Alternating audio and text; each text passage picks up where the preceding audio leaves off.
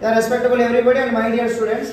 Here in the model uh, botany practical test in our Vasvi campus, chromatography experiment. One of the students she got under physiological activity or experiment. She has prepared 9 to 1 ratio solution and she has taken that uh, extraction in the form of dots on the chromatography paper and finally she placed in the solution hold it properly how beautifully she, she is getting the result so here the pigments molecule are ascending. The pigment, pigment molecules are ascending beautifully. So that the chromatography paper surface is known as uh, uh, what it is called? Stationary phase. Then the solution which is carrying the pigment molecules along with it on the surface of the stationary phase is known as mobile phase. So based upon the molecular weight of the pigments slowly the pigments they will be ascending.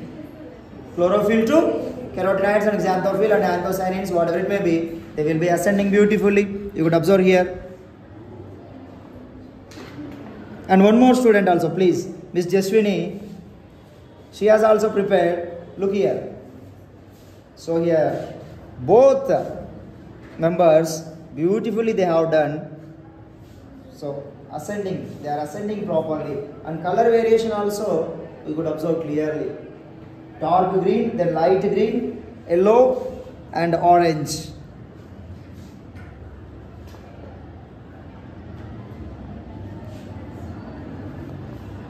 So in the model test first time such type of result we are getting. Generally in public exam we shall get but our students they have proved in model test itself what they are and what skills uh, they have. Especially uh, our campus one of the great campus state second rank we got 2024 result. So because all members they are well experienced faculty we have 10 plus years experience.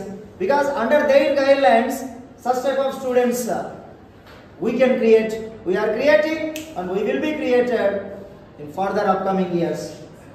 What is the proof? This is the proof. Experimental results are the matter not the matter by doing themselves this is the matter. Results are matter. Keep it up. Very nice. Good luck. And remaining students